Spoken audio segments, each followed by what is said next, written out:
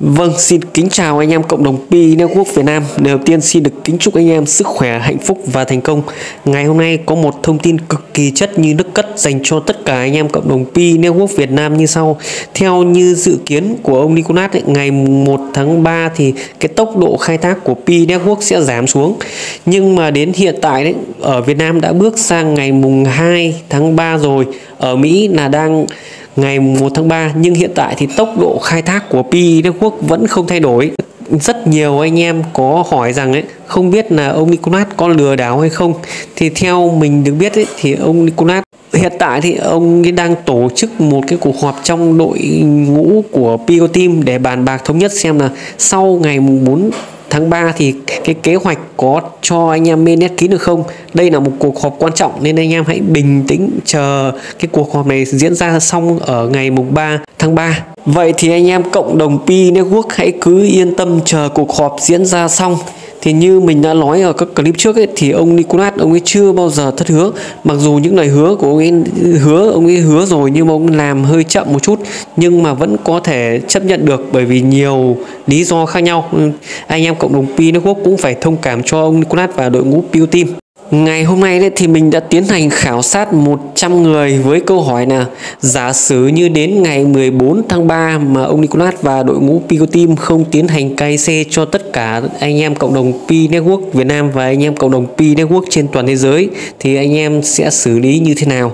Thì có 1 phần 3 trong số đó bảo là, nếu mà không được KIC trước ngày 14 tháng 3 sẽ quay xe và 2 phần 3 là giữ vững niềm tin vào cái sự nghiệp của Pinagok đi đến cuối cùng của dự án thì qua đây mới thấy rằng ấy, thì rất nhiều anh em cộng đồng Pinagok đa số là có niềm tin vững chắc vào sự nghiệp của ông Nicolas và đội ngũ PQ Team.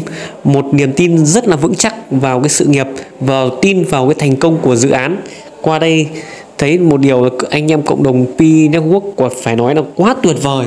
Mình tin chắc rằng đấy với cộng đồng đông như này, với cái sự đồng thuận cao như này thì ông Nicolas và đội ngũ Pico Team sẽ không phụ niềm tin của anh em cộng đồng Pi Network trên toàn thế giới. Và mình tin chắc rằng cái dự án này nó sẽ thành công một sớm một chiều trong tương lai gần mà thôi. Hãy tất cả chúng ta hãy nắm những cơ hội ngàn năm có một này đừng để tụt hậu lại phía sau. Bởi vì tương lai ấy, thì tiền kỹ thuật số nó sẽ là phổ biến và được ưu tiên sử dụng rộng rãi. Pi lúc này sẽ dùng để trao đổi mua bán tất cả các loại hàng hóa dành cho cuộc sống hàng ngày của người dân và doanh nghiệp trên toàn thế giới. Và giao dịch xuyên biên giới nhanh gọn và hết sức là đơn giản. Ờ, có thể được quy định đổi ra tiền pháp định dễ dàng. Hôm nay thì có một bạn nhắn tin hỏi mình rồi anh ơi, làm sao để tăng cái tốc độ khai thác của Pi sau ngày 14 tháng 3 thì câu hỏi này rất là đơn giản, mình sẽ xin trả lời ngắn gọn như này. Thì anh em phải căn cứ vào cái công thức tính cái tốc độ đào sau ngày 14 tháng 3 đó là công thức như nào thì anh em đã rõ ở cái clip trước mình đã giới thiệu thì mình xin nhắc lại này, cái tốc độ đào sau ngày 4 tháng 3 nó sẽ tính bằng công thức này, bay rate này, tức là tốc độ cơ sở này, nhân với booster tăng cường này, nhân với reward là phần thưởng này. Thì ở cái bay rate này nó là cái tốc độ đào cơ bản rồi. Omicron ông đã quy định rồi giảm 4 lần so với trước ngày 1 tháng 3 tức là từ 0,1 pi trên giờ xuống còn 0,0254 pi trên giờ. Và cái tốc độ này nó không đổi do vậy mà để cho cái yếu tố bay rate này nó tăng lên thì không có gì khác là anh em phải kích tia sét hàng ngày chăm chỉ kích tia sét hàng ngày. Còn cái booster ấy, thì nó sẽ phụ thuộc vào ba yếu tố. Một là pioneer nên là chính các bạn. Thứ hai là vòng tròn bảo mật security cycle tức là vòng tròn bảo mật.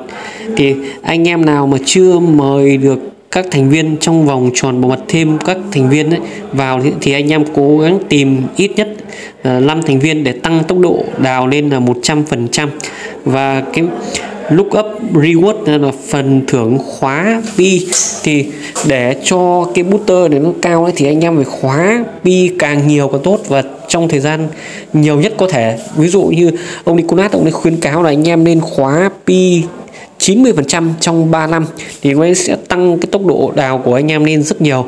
Vâng thậm chí có anh em khóa 100% trong 3 năm luôn. Đấy đây là một niềm tin rất lớn vào cái dự án thì cái tốc độ đào của anh em sẽ cao. Đấy là booster là cái tăng cường. Nếu mà anh em uh, muốn tăng lên thì anh em một uh, anh em mời hơn 5 thành viên trong vòng tròn bảo mật này. Và khóa pi nhiều nhất có thể trong thời gian là 3 năm, tăng cái tốc độ khai thác của anh em lên. Đấy là cái booster.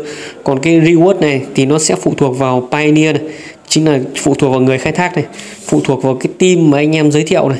Thì việc đơn giản nhất là anh em huy động mọi người tham gia vào Pinowork bằng cái mã mời của mình này. Sau đó là nhắc nhở người ta thường xuyên để kích tia xét hàng ngày này thì cái tốc độ của anh em nó mới tăng được đấy. Nếu mà mình mời rồi nhưng mà người ta bỏ người ta không khai thác thì tốc độ của anh em sẽ ờ, chậm đi rất là nhiều. Nên mọi người phải có trách nhiệm đấy, có trách nhiệm là nhắc nhở người ta khai thác. Đấy là cái ba yếu tố mà nó quyết định cái tốc độ đào của anh em sau ngày 14 tháng 3 thì anh em lưu ý để có thể tăng cái tốc độ đào của mình lên là nhiều nhất có thể. Chúc anh em thành công.